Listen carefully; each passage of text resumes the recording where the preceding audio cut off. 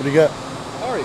Good. How are you guys doing? Good, good, good. You guys been in the shade all this time? Oh, yeah. It's been, Huh? Yeah. You don't, y'all don't let us watch, so. there you go. um, how do you feel? I mean, in the game week. You got what you got. How do you feel about where you go? Yeah, well, it's 10 days away. You know, you get the countdown clock in the team meeting room, so every day you get a reminder.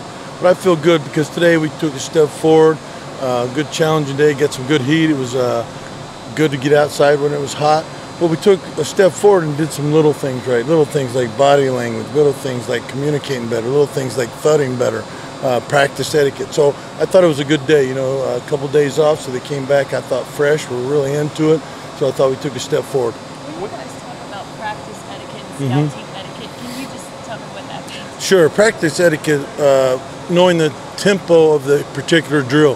One drill might be tackle, next drill you might go to thud, which means you just thud them from the front and you tag off from the side. So practice etiquette is being able to practice full speed and yet uh, Coach Jones maintains the tempo of that particular drill and be able to switch back and forth. You get to a point where it's just time to go play? That they've got they've got to experience it. They've got to get into that environment. How close are you to that? Well, absolutely, and I think they're all ready to play a game. But I think as a coaching staff, we know we have 10 days. We're going to utilize those 10 days, and I think as players too, uh, they know that now we're starting to put the game plan in, uh, focusing more on Utah State rather than just daily improvement. So yeah, I think everybody's excited about the clock. Steve, at this point, how many guys do you feel comfortable saying to go out there and play right now? Well, you know, I'm, I'm hoping that number grows. Uh, you know, inside we're at five right now. I'd like to be a little deeper in there, and then outside we're probably at six. Talk about some of those young, like Mixon in there. Mhm. You know, I know he's not the heaviest guy. Correct. What do you like about him in there? Where's Sawyer's at in the development right? Well, someone like Mixon, I, again, we talk about playing to his strengths. His strengths is he's got he can run. He's very athletic.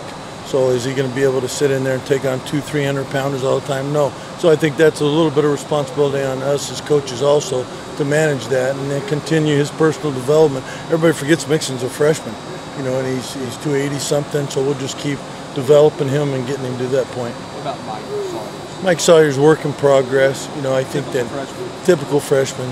Got a long ways to go as far as understand what college football is all about, the total commitment of taking care of your body, three meals a day, getting enough sleep, uh, intensity every day. So, uh, you know, he's a work in progress. Would you call Derek and Dewayne typical freshmen? I would not call Barnett a typical freshman. Uh, Barnett seems to weather things. He seems to have a maturity about him. Uh, he seems to be able to grind through. Um, same with uh, Dewayne. I think he's he's miles ahead of your typical freshman. So I'm really pleased with those two. Is Barnett a lot like how Corey Vereen was last year for you guys? He's a lot like that in that he's self-motivated, uh, doesn't need uh, somebody yelling at him all the time to motivate him. The, probably the big difference is he's much more physical than Corey at this point. You know, Corey had to have a role last year of being a third down player, where I, I see Barnett as an every down player. Coach, I know you just got into game prep, but early Mm-hmm. on, what do you see from Utah State, and what's going to be some of the things you stress over the next 10 days for the defensive Yeah, line? Yeah, well, obviously uh, Chuckie's movement ability at the quarterback spot. So you know, when we talk about quarterback points for us, that's being able to effectively rush the quarterback and yet maintain your point on the quarterback so you can keep him in the pocket. Um, he can hurt you with his legs, so obviously that's a key point of emphasis right now. How comfortable are you? How comfortable are you with where Maggitt is and not having gotten to do much lately? I mean, do you? I guess Well, say about you- him? I always feel good about Curt because I think he's older, he's mature, he's a great leader. Uh, he has all the, the qualities. Obviously, I'd like to see him get a lot more practice, but you know, I, I feel we're still 10 days out and he's going to get plenty of work. Obviously, you guys put on the blue uniforms today. Does that mean necessarily that there was a, a guy running around imitating Chuckie Keeton? Or are you guys not quite there yet?